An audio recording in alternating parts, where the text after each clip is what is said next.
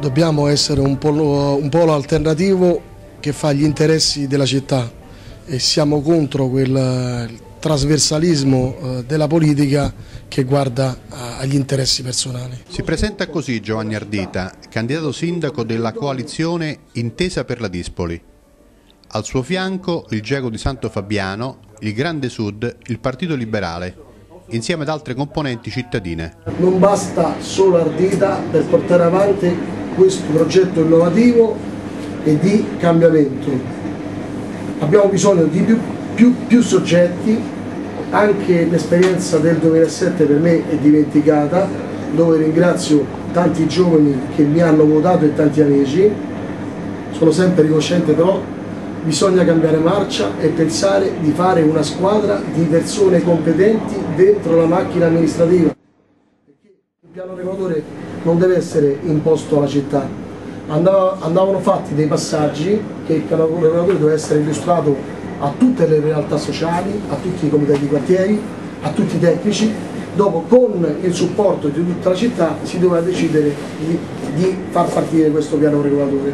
Allora, questo principio io non l'ho condiviso, poi entrare nella polemica che, eh, come sa Fabrizio Luigi e altri, che questo piano regolatore sia stato fatto a pioggia su alcuni politici è evidente aprendo questa planimetria Pensi che siano più avversari in questa competizione i tuoi ex amici del PDL o quelli del centro-sinistra?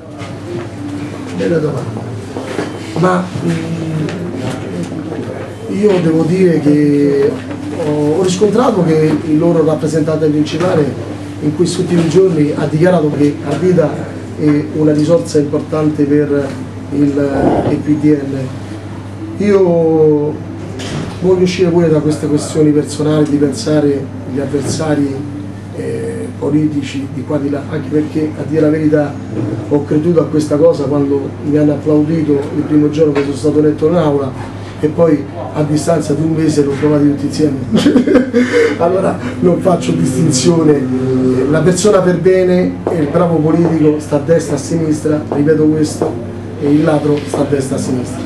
Non, non faccio distinzione tra le due eh, coalizioni perché sono state delle coalizioni che hanno condiviso questo percorso.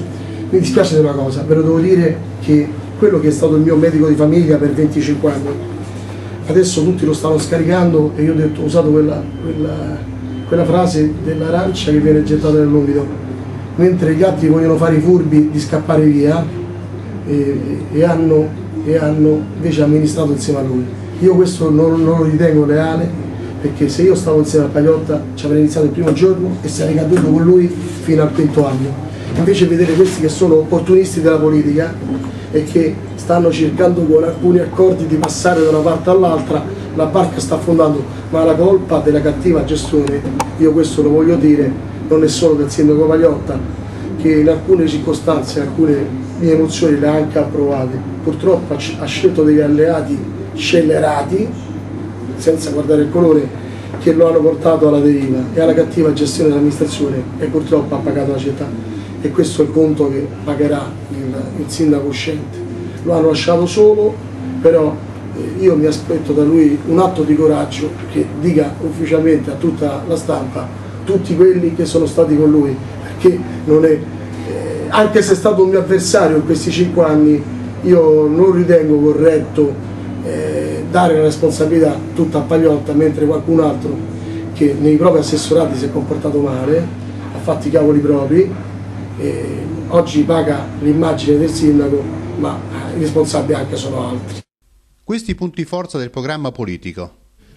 E la trasparenza e la legalità nell'amministrazione, per far sperare ai giovani che possa eh, esserci una meritocrazia. Un'aggregazione più aperta alla, al centro, ai moderati e anche attenta alla, al quarto polo e a tutte quelle forze di centro che possono condividere questo nuovo progetto di cambiamento per la città.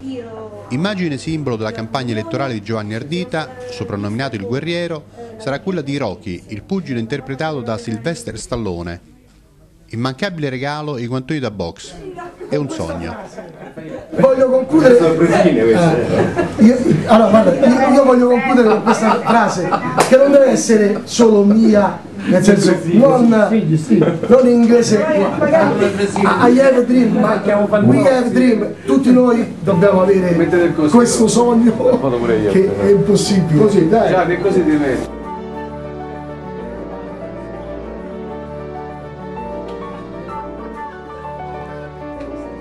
L'immagine, come ha detto un giornale locale, è stata scelta da un cittadino che ha scritto una lettera, eh, diciamo, eh, vedendo in me il Rocky che deve fare questo combattimento, questa battaglia per cambiare la città.